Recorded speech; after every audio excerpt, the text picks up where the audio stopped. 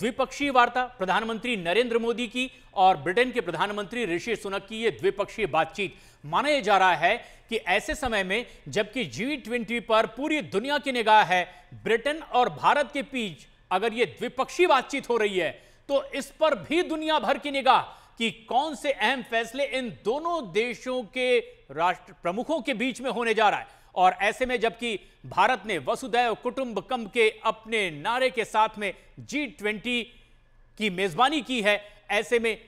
African union को स्थायी सदस्य बनाया और अब जबकि द्विपक्षीय बातचीत प्रधानमंत्री नरेंद्र मोदी और ब्रिटेन के प्रधानमंत्री ऋषि सुनक के बीच, ये गर्मजोशी और दोनों देशों के बीच की मजबूती को इसलिए भी दिखा रहा है क्योंकि जिस गर्मजोशी के साथ प्रधानमंत्री नरेंद्र मोदी ने ऋषि सुनक का स्वागत किया, उससे पता चलता है कि बॉन्डिंग न सिर्फ़ दो नेताओं के आपस में कितनी मज़बूत, बल्कि दोनों देशों के बीच अब ये और रिश्ते कितने मज़बूत होने जा रहे हैं। तो ऋषि सुनक भारत मूल के पहले प्रधानमंत्री ब्रिटेन के और इस वक्त की तस्वीर आपको दिखा रहे थोड़ी देर पहले की दरअसल द्विपक्षीय बैठक जो है, भारत के प्रधानमंत्री नरेंद्र मोदी और ब्रिटेन के प्रधानमंत्री ऋषि सुनक के बीच में आपको वो वक्त याद होगा, जिस वक्त ब्रिटेन के प्रधानमंत्री के तौर पर ऋषि सुनक ने शपथ ली थी, पूरे हिंदुस्तान ने उन्हें बधाइयाँ दी थी। 2020 का वो वक्त भी याद होगा, जब वित्त मंत्री के तौर पर उन्होंने शपथ ली थी तो गीता पर हाथ रखकर उन्होंने शपथ ली थी। और उस वक्त से ही हर कोई इंतज़ार कर रहा था कि आखिर ब्रिटेन के प्रधानमंत्री के तौर पर ऋषि सुनक कब शपथ लेंगे, लेकिन आज की तस्वीरें बहुत खास हो जाती हैं,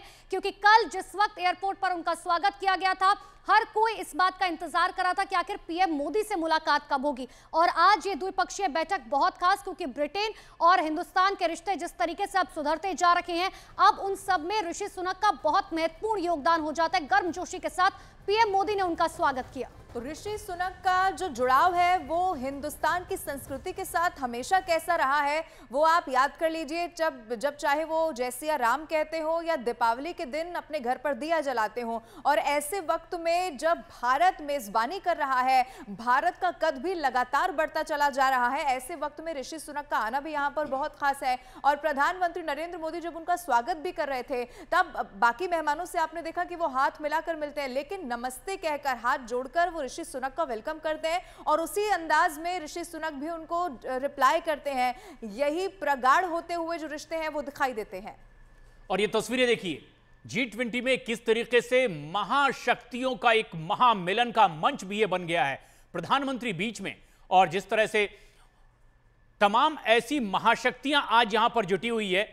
अफ्रीकन यूनियन को स्थायी सदस्यता दी गई है। जो बाइडेन की मौजूदगी ये बताती है कि किस तरह से गर्मजोशी के साथ, प्रधानमंत्री के साथ उनकी बातचीत, वर्ल्ड बैंक के प्रमुख जिस तरीके से पहुँचते हैं, तमाम ऐसे वो ताकत